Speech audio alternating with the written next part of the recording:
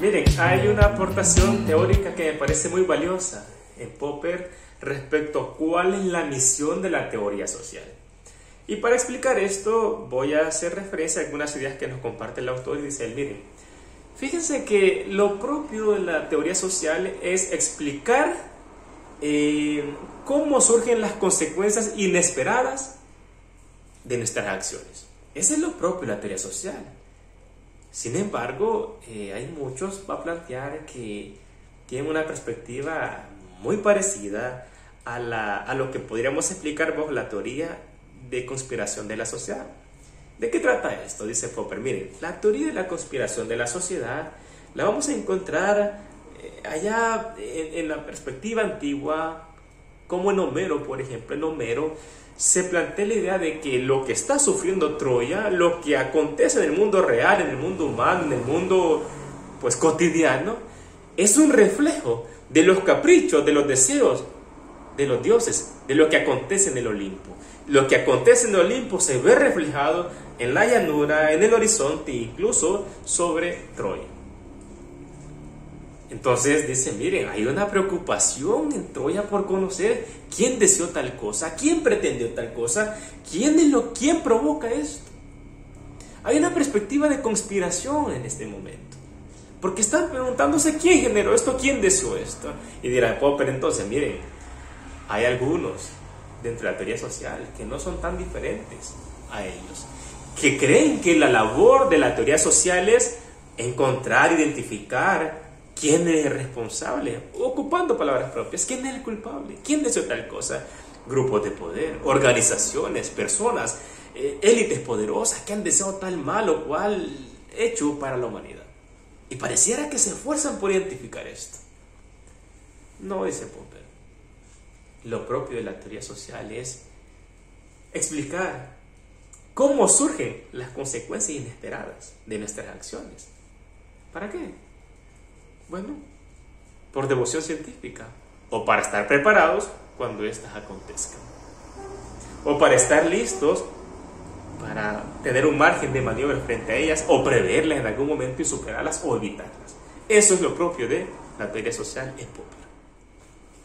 Algunos creen que la teoría es el resultado de la compilación o recolección de observaciones, es decir, una especie de compilación de, de verificaciones.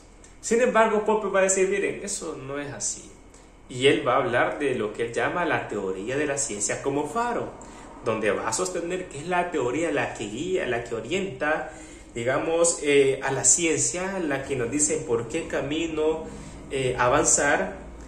es la teoría, que, la teoría la que nos dice qué observar, qué someter a verificación, ocupando verificación entre comillas, ¿verdad? Popper cree en la falsibilidad. Es la teoría la que nos indica qué problemas tratar, por qué tratarlos, y entonces dirá, mire, la teoría no solo nos genera respuestas a los problemas, la teoría es la que nos conduce a nuevos problemas.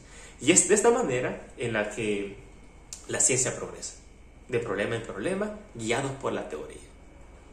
Bien, Popper ha dicho que el racionalismo resulta incompatible con formas dogmáticas de la tradición, el tradicionalismo.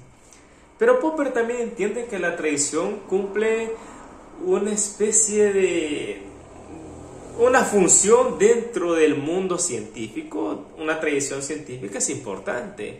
Y dirá lo siguiente, bueno, la tradición ofrece un orden social donde interactuar, donde actuar, donde pues, convivir, donde existir socialmente. Tiene una especie de función legislativa porque nos ofrece ciertas reglas y un orden dado. Entonces la tradición tiene dos funciones. Primero, ofrece ese marco social donde actuar. Digamos, ofrece una especie de certidumbre o de seguridad jurídica en términos legales. Pero también tiene una segunda función y es que la tradición nos ofrece la materia que podemos cambiar, criticar y mejorar. Dirá entonces Popper, mira, eh, no se puede realmente pretender hacer un mundo o, crear una sociedad desde cero. No se puede. El ingeniero, pues cuando diseña un motor, no lo hace de cero, sino que toma en cuenta los modelos que preexisten y los mejora. De manera similar, eh, la tradición nos ofrece esos elementos que podemos mejorar, criticar, replantearlos y mejorarlos. Entonces dice Popper, dentro de la tradición científica sería un problema increíble pretender teorizar y partir desde cero. Sería suprimir todo el avance que existe y eso podría implicar suprimirse a sí mismo dentro de la perspectiva teórica, porque esa propia forma de teorizar también descansa en la tradición que le ha dado a luz o de la cual ha emergido como crítica o como una especie de reforma.